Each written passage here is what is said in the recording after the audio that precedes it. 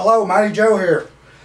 this video here, I'm going to go over a simple way to progress with a Vulcan hand gripper. The hand gripper by a grip strength legend named David Horne over in England.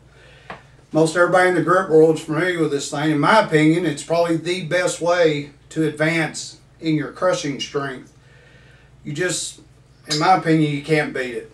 But anyway, what you do, and you, you probably all heard of this, but what you may not know is just how much resistance a, a rubber band adds. So let's say that, and by the way, as most of y'all know, these have come with various springs over the years since 2008. I've got an orange one on here. There was a red and black one, a gold one, the easiest one, the white one. But for demonstration purposes, I got an orange one on here. And let's say that uh, you're stuck at a certain level on this Vulcan. Well, with the handles closed, from here to here is 9 inches. So if you take a number 64 rubber band and you attach it to the very top notch, that adds approximately one and a, right at one and a half pounds of extra resistance.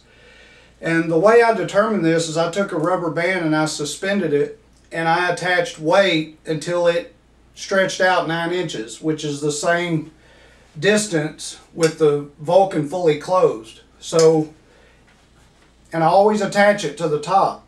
So, sometimes moving up just one notch with your spring is too much. You can't, I mean, it's still too much. So a, a real easy way to progress is with these number 64 rubber bands. So there's one and a half pounds extra. If you add another one, it'd be three. If you added four, it'd be six pounds, so and so on. But that's a real good way to progress with these things. I know a lot of people done this, but what I've never heard anybody say is, well, how much force does it actually add to it? Well, it's right at one and a half pounds. So that's a neat little way to progress with these Vulcan grippers. Uh, I hope you like this tip and have a great day.